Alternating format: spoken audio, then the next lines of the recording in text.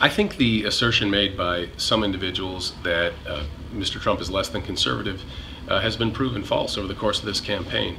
Uh, we've had many instances of him taking a very conservative position, immigration most notably, uh, taking the most conservative stance on immigration of any presidential candidate in my political lifetime.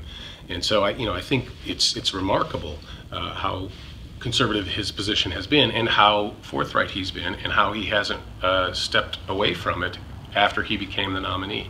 You know, typically by this point, you would see, say, Mitt Romney or John McCain taking a more liberal or moderate stance. Trump hasn't changed on any of his positions. So if you look at the, the specifics, they, they're very conservative specific. So immigration, we've already talked about, very conservative. Foreign policy, very conservative. He wants to destroy ISIS in no uncertain terms. Um, when you look at uh, judicial selection, something conservatives like me are very concerned about, uh, he took the step that I haven't seen any other pres presidential candidate do of naming about 10 judges that he would like to see on the United mm -hmm. States Supreme Court. All originalist, constitutionalist judges. So um, for conservatives like me, I think there's a lot to be uh, happy about.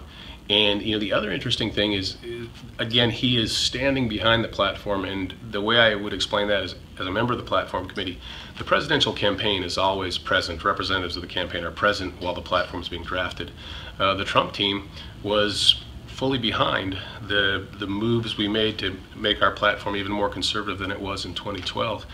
In contrast, I remember back in 2008 when we were trying to, I, I was on that platform committee, and we were trying to make it more conservative from what the 2004 platform had been.